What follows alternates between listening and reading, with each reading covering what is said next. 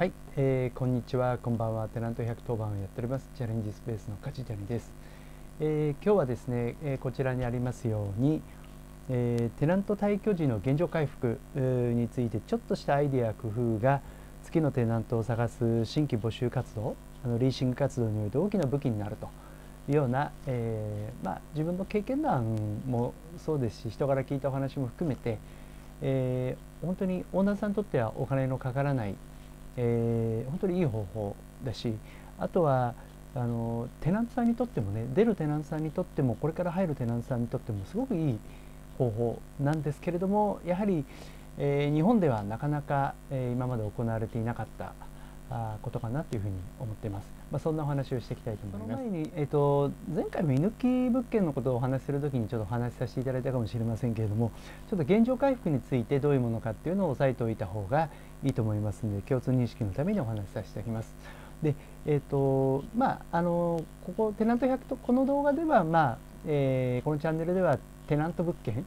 えー、事業用の店舗とか事務所を中心にお話していますけれども、まあ、あの賃貸物件というと、まあ、実際はほとんど住宅ですし、まあ、あの住宅と、まあ、テナント物件があるので、まあ、あの住宅も含めてちょっと一回整理してみます。で住宅とですねあとテナント物件の中の特に事務所オフィスですねその2つは、まあ、基本、まあ、違う物件もありますけれども日本においては結構その貸し出す時にきちっと内装設備がきちっともきれいになってクリーニングもされて設備の故障がない状態で、えー、もう入れば、まあ、あとは家具とか、えーまあ、自分の必要自分だけ必要な設備とか、まあ、持ってくればね、まああのー、すぐに、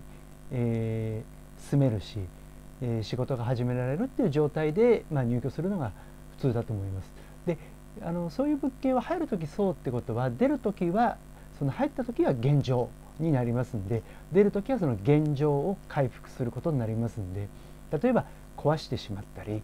えー、汚してしまったり、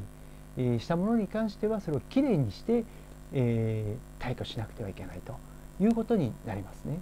それがあの、まあ、要は住宅とかオフィスとか、えー、内装設備が整えられた物件に入る時の基本になります。で片やですねこのテナント物件の中の店舗はですねやはりあの店舗っていうのはそのお店によって内装とか設備って本当点でバラバラじゃないですか。ですので基本は、まあ、今居抜き物件っていうのはちょっと後で話しますけど居抜き物件は置いておいて基本は店舗はスケルトン。要は、えー、内装とか設備がない状態、まあ、躯体ですね。建物の躯体だけの状態で貸し出すっていうのが、まあ、本来は基本になるケースが多いです。であのー物件によってはっていうか結構多いんですけどももうトイレとか、えー、キッチンとか水回りもない、えー、状態ですねですからあのもう何から何までテナントさんでやんなきゃいけないということでやっぱりその入るにあたっては本当に内装設備、を整えるだけでもものすごくやっぱり店舗っていうのはお金がかかるってことですね。で今度、えー、今のが入る時で出てく時はどうなるかって言いますと出てく時は現状がスケルトン何にもない状態になりますんで、え、自分たちで一生懸命作った設備とか内装を、え、全部撤去してで、え、最初借りた時の状態何もない状態にして返すというのが店舗物件、まあ、スケルトンの場合の店舗物件の基本になります。ここであの、まあ、この前もお話ししたみたいな居抜き物件はじゃあどういうのかっていうと,、えーと、基本はねやっぱり店舗で、えー、内装、えー、スケルトンで入って内装をしてただ何らかの事情で、えー、まあいい時あの特にあのトラブルとかないケースもありますけど大体は経営が悪くなって、えー、まあ内装設備を撤去する費用もなくてみたいな。えー、場合によってはもうちょっとそのまま、えー、テナンさんがどっか行ってしまったと。もうどうしようもなくてもそのままで居抜きのままあ居抜きの状態になっちゃってますとそのまま貸し出すっていう、まあ、大家さんの方でもまあ現状回復する費用がなかったりとかあとはまあ現状回復するよりもこのままで貸し出す人がいいとか、まあ、いろんな判断あるんですけれども要はその内装設備を残したまま前の出てたテナンさんが残したままの状態で、えー、貸し出すえー、物件を居抜き物件と言います。まあ、あの居抜き物件前回お話した時にもお話したんですけども居抜き物件を借りる時っていうのは次のテナントさんは前のテナントさんの現状回復義務を引き継ぐという条項が入っていることが一般的です。まあ、日本における店舗契約においては結構一般的だと思います。まあ、あの以上がですね住宅とオフィスという、えーと、内装がつい内装設備がついている状態の物件を借りる時とあとは、えー、内装が全くないスケルトンの状態で物件を借りる、まあ、店舗物件とあとはちょっとそれの、まあ、あの変形バージョンというか特殊な事例であり、まあ、今人気あるんですけれども、えー、居抜き物件、えー、についてお話ししました。まあ、あの以上の3つの形っていうのが、まあ、あの現状回復を考えるにおいて日本においてはちょっと、まあ、まず押さえておいた方がいいという、まあ、全体像になります。で、えー、次はですね、まあ、あの居抜きとか店舗物件の場合はまあ、あの居抜きでも結局スケルトンに戻さなきゃいけないっていう現状回復義務がついてますんでね、えー、まあ、あのちょっと居抜きは置いといて店舗物件の場合は基本は何もない状態で自分たちで内装設備をやってで元に戻すっていうまた何もない状態に撤去して戻すってことなんで、まあ、ちょっとそれはそれで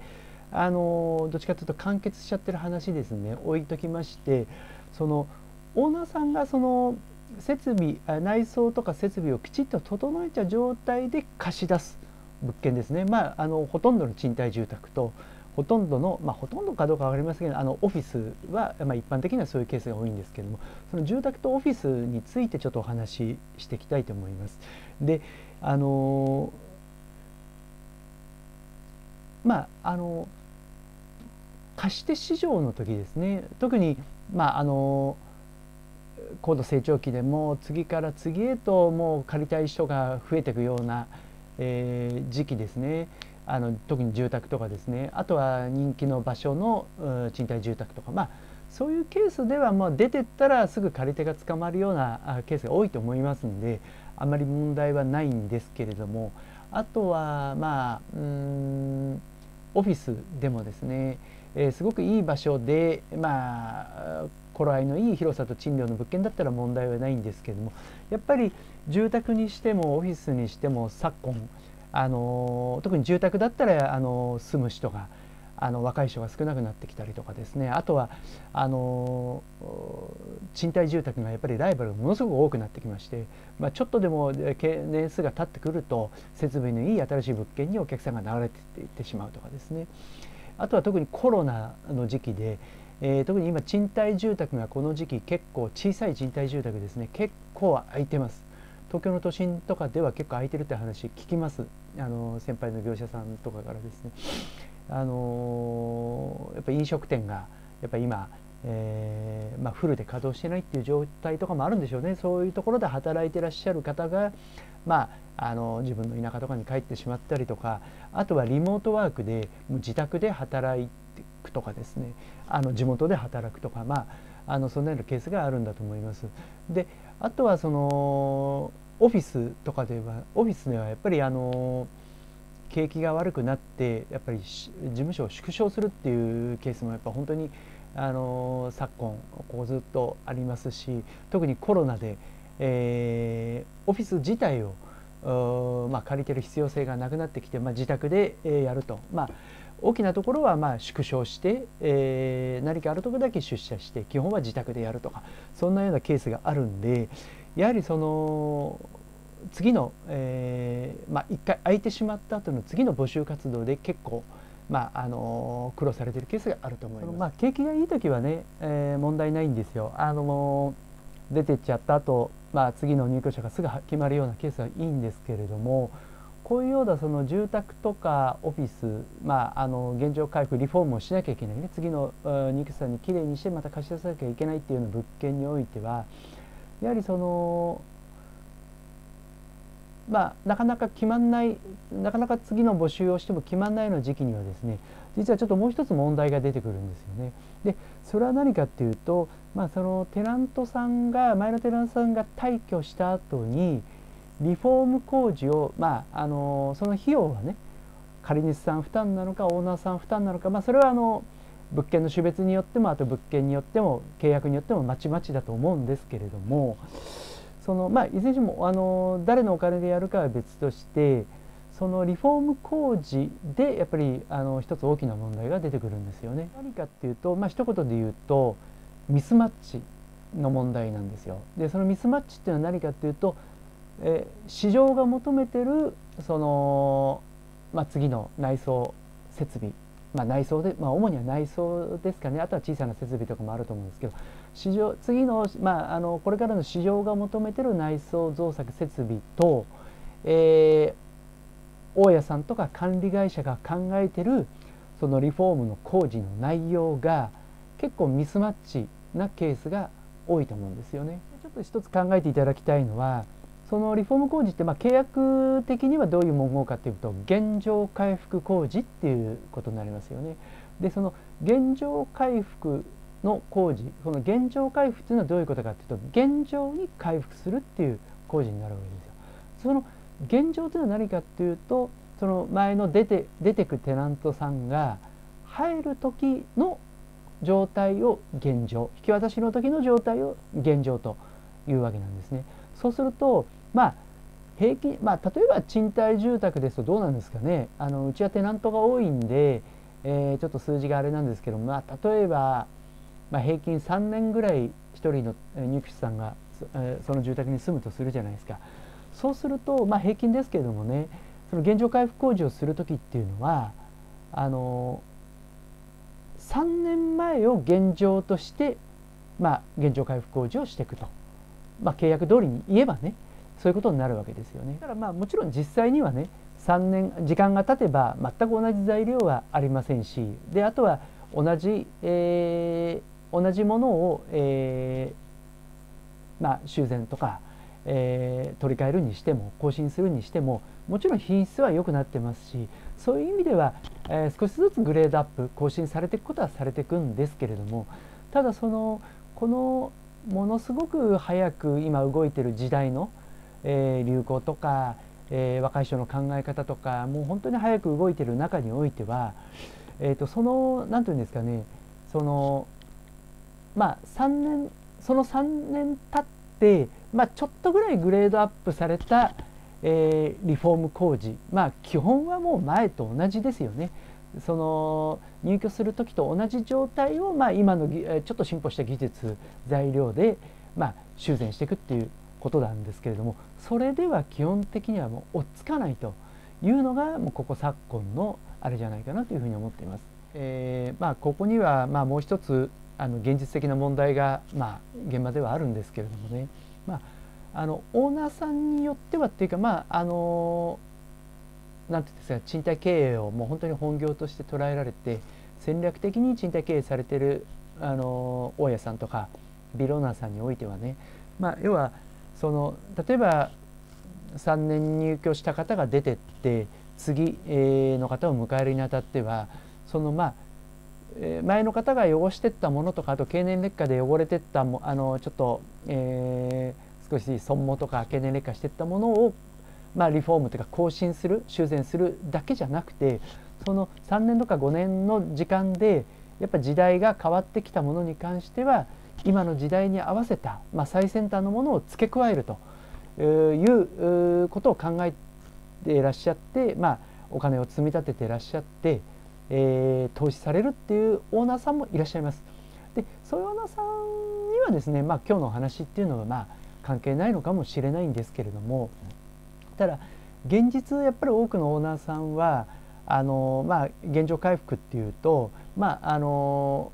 出てく借主さんが汚したものは借主さんあ壊したものは借主さんの負担でやってってもらって、まあ、それ以外の、まあ、経年劣化とか通常損耗で、まあ、ちょっとあのこれは借主さんの負担ではないなと、まあ、契約で特約に定めてない、えー、あればね、まあ、それは借主さんになりますけれども基本は大体その経年劣化とか通常損耗の中の更新ですよね。そのぐらいの更新はオーナーさんがするっていう意識で、まああのまあ、資金計画でやられていらっしゃる方が多いと思うんで、まあ、なかなか、あの時代の変化に合わせた投資っていうところまではなかなかあのいっていないというケースが多いんだと思うんですよね。とまあ、どうなってしまうかって言いますとあのまあ、そうは言ってもあの現状回復工事は当然次のテナントさんに汚いまま貸すわけにいきませんのでやるわけですよ。そうするとやるとですねやはりその、まあ、時代の変化が激しい昨今ではで特にさらにあのどんどんどんどん新築物件が入居者が減ってきているにもかかわらず新築物件が建ってくるわけですよね。そうするとやっぱり設備とか内装とかでちょっとやっぱり時代的に見劣りするようなものがあるとやはり同じ賃料だったらあとはちょっと賃料高いんだったらその新しい方に行ってしまうっていうケースがやっぱり特に若い方とかあと女性の方とかではやっぱり多いんですよね。するとせっかくそのまあ時代の最先端じゃないにもかないけれどもお金をかけて、えー、リフォーム工事をしてもせっかくきれいにしてもなかなか決まんないというケースが本当に多いんですよね。でここがやっぱり肝かなと思うんですけれどもあのその問題の本質は何かなっっていうとですねやはりそのまあ売り手市場だった時のどんどんどんどんもう入居者さんがもうやってくるような時期ではまあ正直言って入居者さんの方が借りる方が物件を選ぶっていうよりもあの貸す方が借りる方を選ぶような時代においてはね、まあ、正直言ってあの問題なかったんですけども、まあ、こうやってその物件がどんどんどんどん空室の物件が多くなってきてどんどんどんどん新しい物件が建ってくるような時代においてはねやはり借り手市場借りる方が強いわけですよね。そうするとそのさっきお話ししたその流れっていうのはやっぱり致命的なのがあの次借りる方の要はニーズを確認しないで確認しないでっていうよりも何て言うのかな次借りる方がどういう内装設備が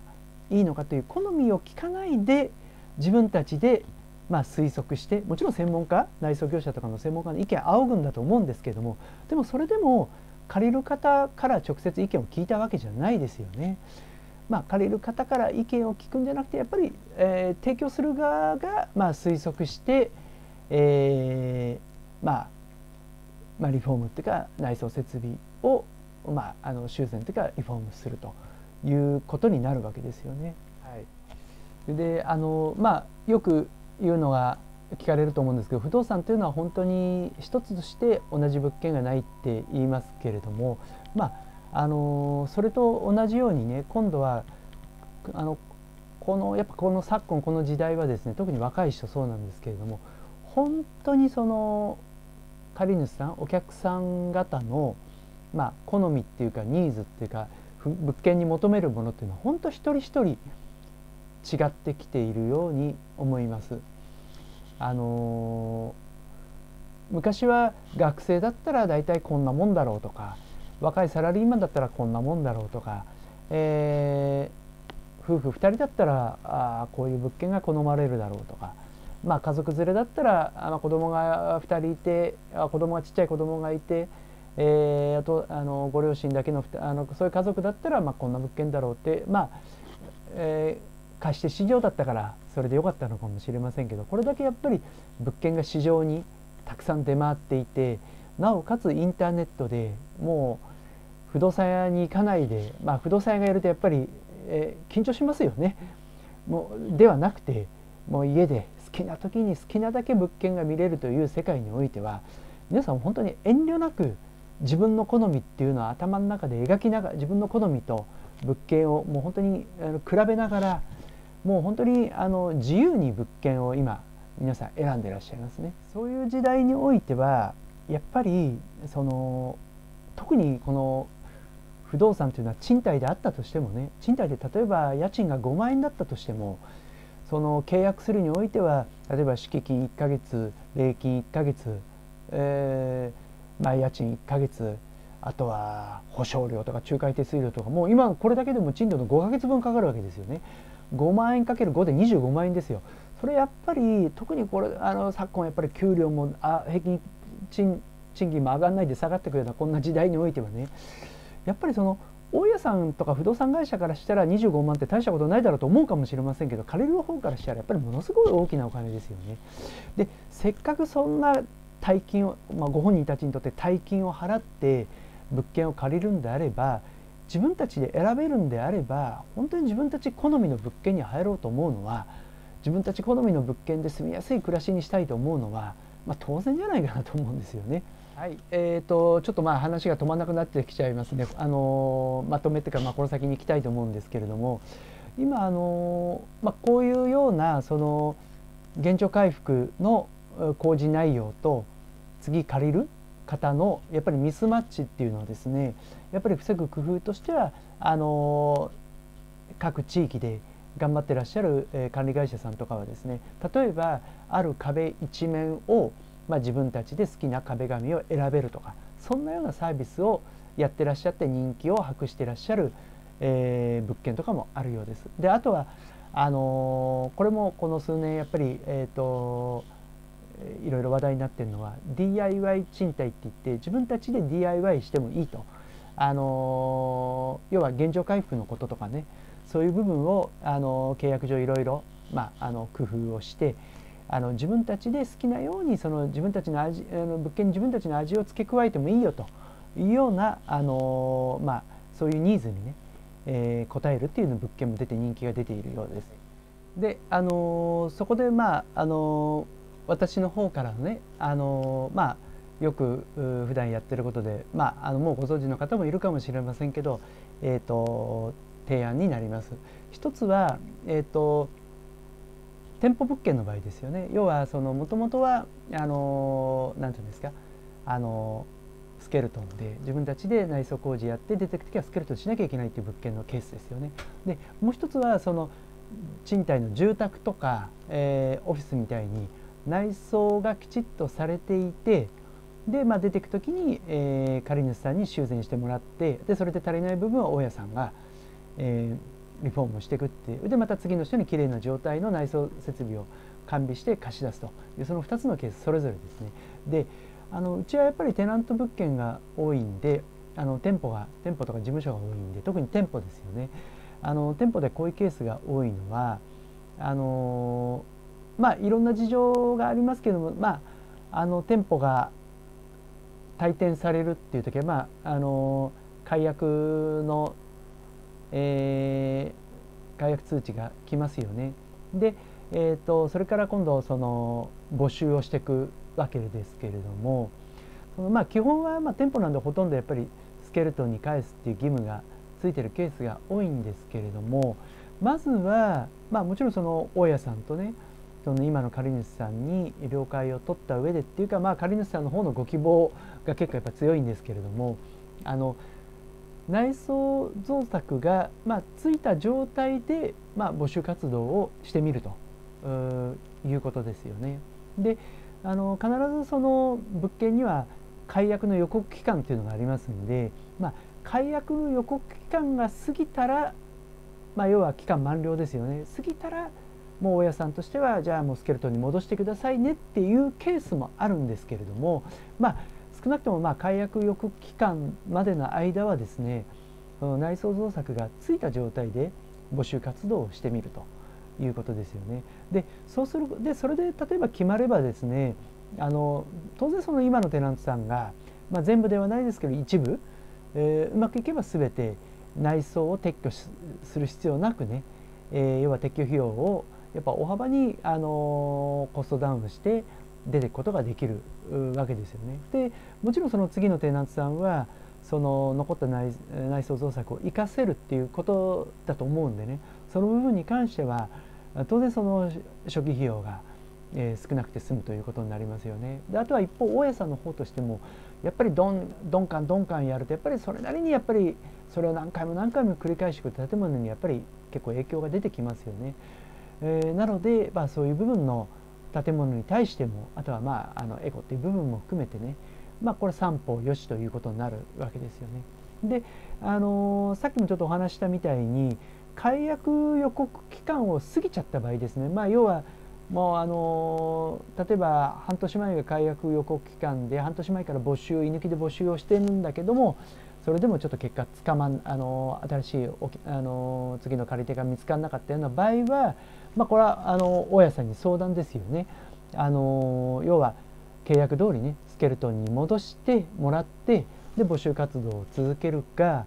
えー、もしくは、えー、スケルトンにしとくとスケルトンにしてしまうと要は例えば物件によってはトイレとか、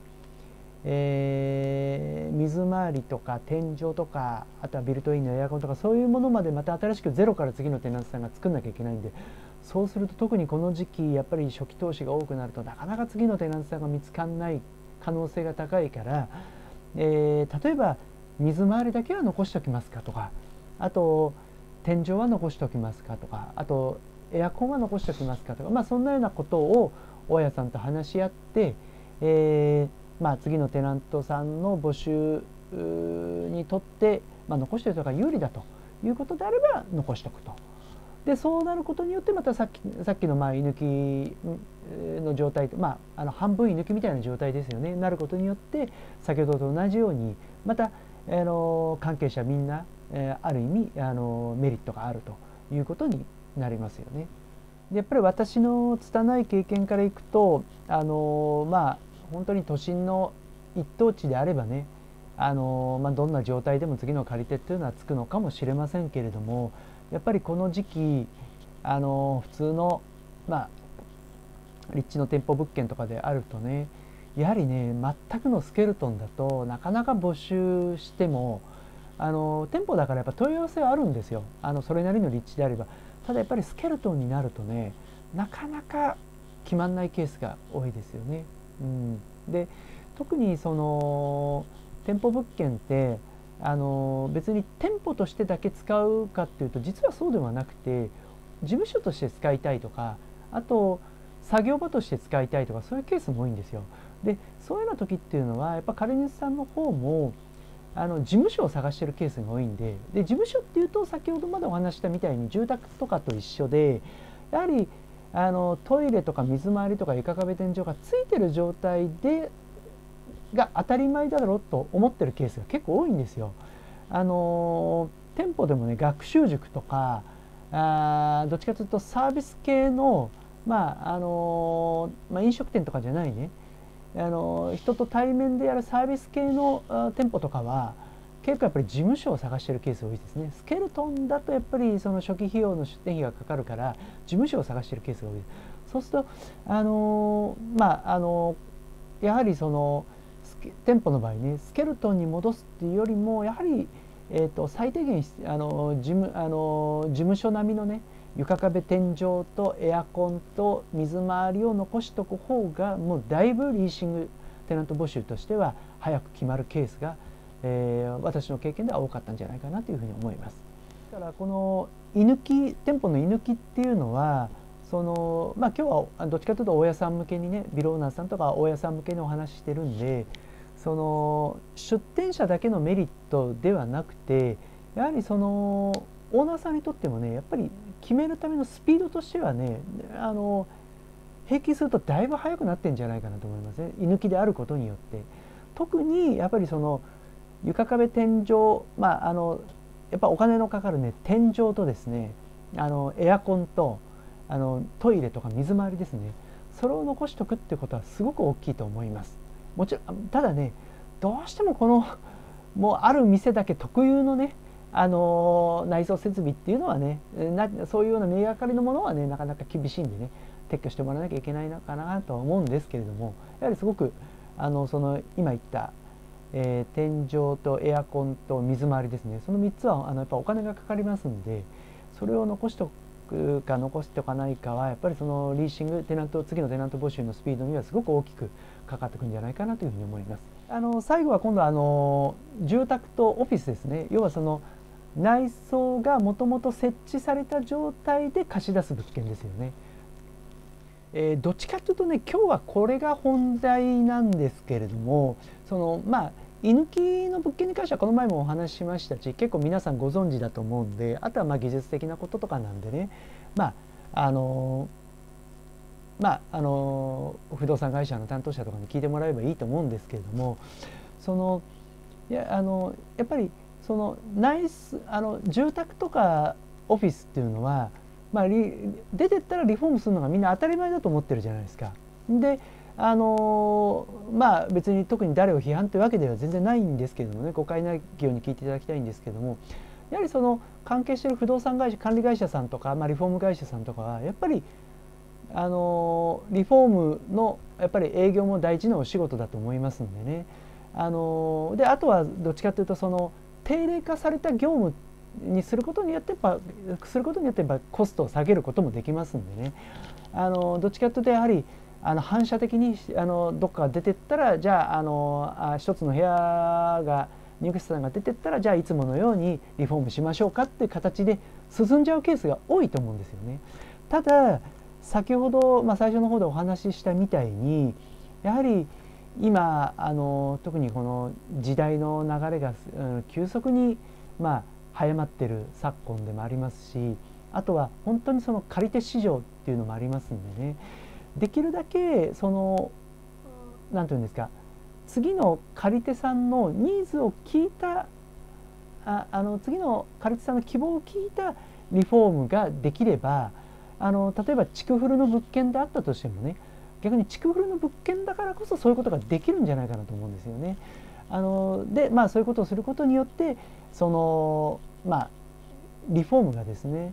あの一つその何て言うのかなあの現状回復っていうこと自体が次のあのテナント募集の一つの大きな武器になるんじゃないかなというふうに思うんですよね。具体的にどうするかっていうとこれまた全然複雑あのあの実はあこんなことかなっていうまあもうすでにやられてるところもあるかもしれないんですけども実は全然大した話ではなくてですねあのリフォームを、えー、あリフォームじゃなくて前のテナントさんがえー、入居者さんが出てっちゃいますよね。で、あのー、次募集をするにあたって、あのー、必ず、えーと、募集をしてくる不動産会社さんというのは、えー、物件を告知するわけですよね。でそれはあの物件のまあ大体毎足的1枚もの物件の資料を作ってでそれをまああのインターネットに載っけたりあと業者間情報に載っけたりあとはえー、知り合いのお客さんとか、えー知りえー、知り合いの業者さんとかにまあ情報を流していくわけですよね。その時にまあ口頭で伝えてもいいんですけど大体その資料1枚もの資料に物件って大体いろんな情報を書くんですけれどもそこにですねあのこういうことを書いたらいいと思うんですよね。この物件に関しては、えー、次あの内覧を内現状はまだリフォーム工事はあえてしておりませんと。であの次の入居者さんが、まあ、内覧の時にね気に入っていただいたら、えー、ご契約いただいた後にご希望を聞いてリフォーム工事をさせていただきますと。先ほどちょっとどっかでお話ししたみたいにあの結構あの全国の各地域の先進的な不動産管理会社さんをやられてるケースが多くて、まあ、セミナーとかでもよく何回か聞いたことあるんですけどもあのメインの壁一面をなんかその何て言うんですかなデザイン壁っていうんですかねでそこにまああのあらかじめ何通りかのその、えー、壁紙かなんかのサンプルを用意しておいてまあ選べるというようなことで結構人気物件になってるようなお話を何回か聞いたことあるんですけれどもそれのもっと、えー、大々的に全部それをやっちゃおうとだからまあもちろんその変えなくてもいい設備とか内装っていうのは当然あると思うんですよね。だから例えばあの、えー、ワンルームのマン例えばですよワンルームのマンションだったら、まあ、3年ぐらい住んで出てかれちゃってるんであれば床とかはまあ清掃するだけで十分なのかなと。ただやっぱり3年ぐらい住んでるとうん特に男若い男の方なんかが住んでると壁紙は交換しなきゃいけないケースっていうのは多いんじゃないかなと思うんですよね。であとはどうだろうなうーんあの例えばあの壁紙全部を交換するんであれば本当にご希望に沿った、えーえー、まあもちろんあの材料にはピンキリね値段も材質もピンキリあると思うんでまああの事前に収集しといた、まあ、あのサンプルの中から自由にお選びいただきますみたいな形にしたら、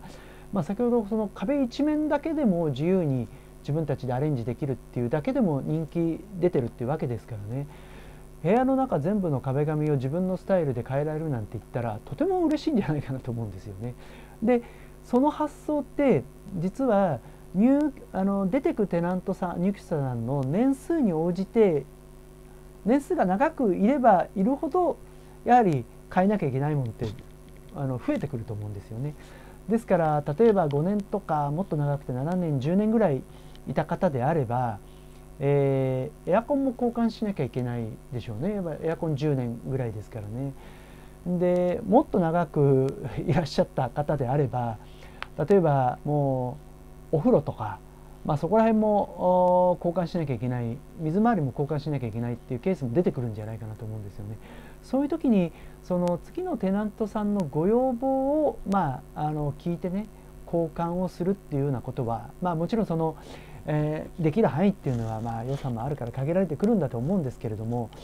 えー、いろんなあなんていうのかなあのバリエーションでいろんなアイデアでやることができるんじゃないかなというふうに思うんですよね。まあ、例えばデパートの新修復であればねあのこれまでの、まあ、現状回復っていうか、まあ、賃貸っていうのはあの既製品を、まあ、買っていくみたいなもんですよねだからあの自分たちのアイデアは一切なくて、まあ、できたものを、まあえー、自分たちで、まあ、どれがいいかなって選んでいくってだけですよね。どの物件がいいかなって。で、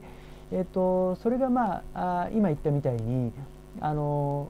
自分たちで現状回復できる、えー、の内容が、まあ、選べると、まあ、現状回復っていうか、まあ、リフォームですよね。例えば壁紙とか設備とか選べるっていう状態は、まあえー、その新宿で言えばイージーオーダーとか、まあ、イージーオーダーですかねで、えーと、そのもう選べる幅が広がってくればくるほど今度はあつらいになってくるわけですよね。でデパートだと要は既製品が売ってる平場と今度イージーオーダーのコーナーと今度はあつらいのコーナーっていうとグレードが全然変わってきますよね。あつらいのコーナーになるともう本当になんか立派な椅子があってなんか木目調の壁があってそこでまあゆっくりもう、えー、寸法を取ってもらって、まあ、接客受けなお茶出してもらいながら、まあ、お洋服をご相談しながら作っていくって形になるんで当然値段も、